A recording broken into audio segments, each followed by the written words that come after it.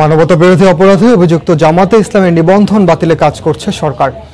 অপরাধী সংগঠনের বিচারের জন্য আইন সংশোধন করা হচ্ছে।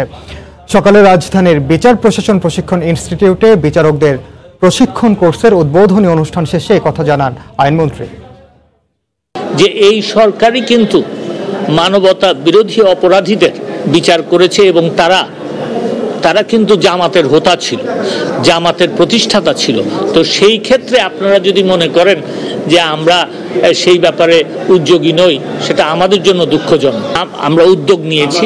রাজনৈতিক দল হিসাবে মানবাধিকার লঙ্ঘনের কারণে বিচার হওয়ার যে ইন্টারন্যাশনাল ক্রাইমস ট্রাইব্যুনাল অ্যাক্ট যেটা ছিল, সেটা কিন্তু এই বিচার এর জন্য যথেষ্ট নয়। এটা অ্যামেন্ডমেন্টের একটা ইয়ে করা হয়েছে এবং অ্যামেন্ডমেন্টের প্রক্রিয়াটা চলছে।